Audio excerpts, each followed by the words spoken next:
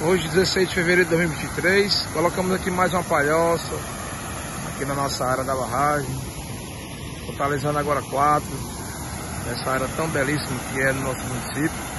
E a grande ideia aqui é servir a população, servir o nosso povo, as famílias que vêm, que possam ficar aqui embaixo com seus filhos, desfrutando desse bom banho aqui e dessa bela área de lazer.